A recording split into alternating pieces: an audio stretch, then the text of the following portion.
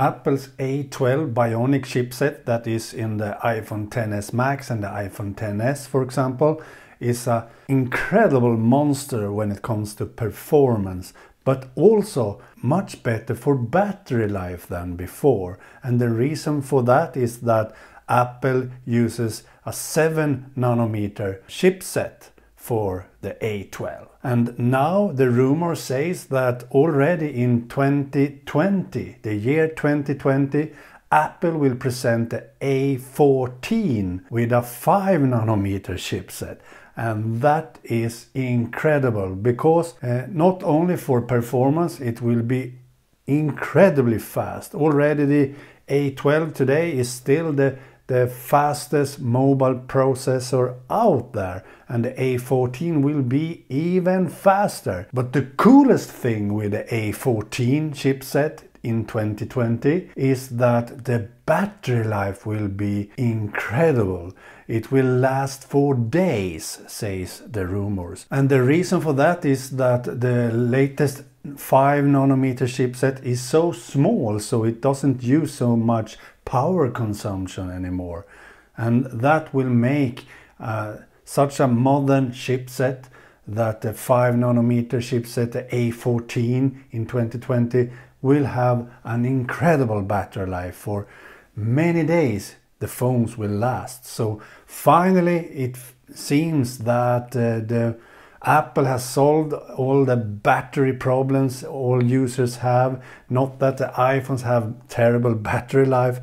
I mean that people, users, want more and better battery life in those devices they use. So if uh, Apple can uh, release a 5 nanometer processor in 2020, we will see a lot better battery life. Trust me, this will be cool. And the rumors also says that uh, A14 in the year 2020 will also be a lot for augmented reality and also for AI, very deep learning. And I like that because the AI in iOS and the iPhones uh, uses uh, the deep learning, the artificial intelligence only on the device, never send any data over the internet whatsoever. So everything stays on your device.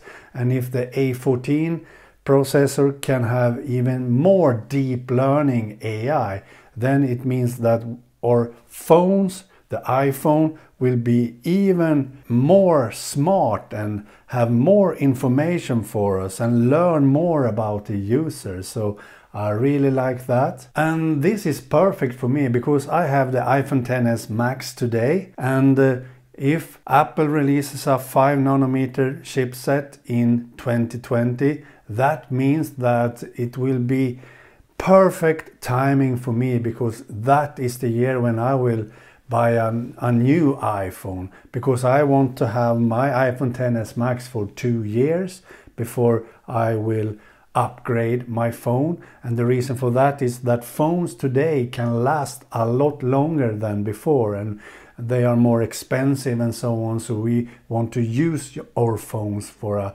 longer time than before. So 2020 the year 2020 will be perfect for me with a 5 nanometer processor in that phone that will be released in 2020 is awesome I think. And uh, that's the reason too why I use the S versions of the iPhone. The iPhone XS Max is an S version and always have a lot better performance than the, than uh, the year before. So in 2020 we will see an S version of the iPhone with a 5 nanometer processor. I can highly wait because a battery life for that lasts for days will be awesome to have and also deep learning AI and augmented reality. I don't use augmented reality so much, but it will be cool to see some uh, cool apps for augmented reality in the future. So these three features, augmented reality, deep learning AI and a lot better battery life. That will we see in the iPhone in 2020 because of this latest A14 nanometer processor. Okay, bye!